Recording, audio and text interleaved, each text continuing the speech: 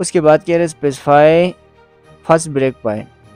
पहला break point मैंने ये दबाया अब आप लोग एक चीज़ नोट कर रहे होंगे कि यहाँ पर कोई निशानी